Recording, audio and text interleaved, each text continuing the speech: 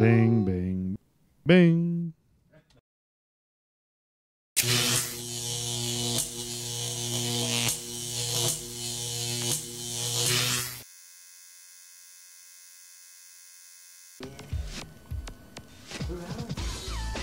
We're rolling? Okay. So I can just start whenever I want. Okay, well, I'm not ready. I was thinking about what, uh, what I'm going to say. We have this very cool. Oh, what is it called? These are the indoor spikes. I don't know if that's true, actually. we should take that out. I know their volume. Shot chamber space kit. Rustle up my hair.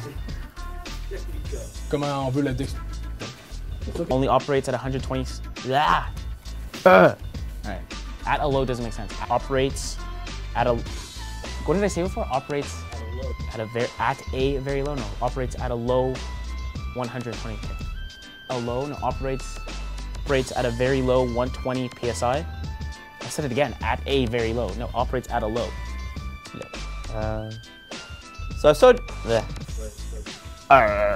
Um, basically, that's your exalt spike cleat thing. kind of screwed that up. I gotta start over. I got hit by a knife once, but that's another story. Sur ce gars-là, une des... des features.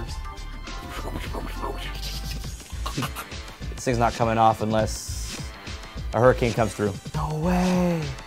All the way across the back. What does this mean? Double strap all the way across. Let me transfer you over to my colleague Andy in the showroom and he'll demonstrate, you know, how to pack the bag.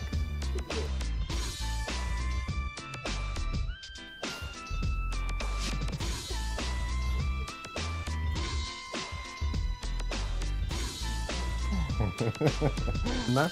Et le couvert net... Le... Fuck. Je- All right, guys, there you have it, the 2011 NT. Thanks for watching, guys. Oh, I! All right, guys, there you have it, the 2011 NT. Thanks for watching. Stay tuned for more product spotlights. Stay tuned for more Spotlight. Thanks a lot, guys. I don't even know what to say. What am I going to say for thanks? guys. Thanks for watching. All right, we're good.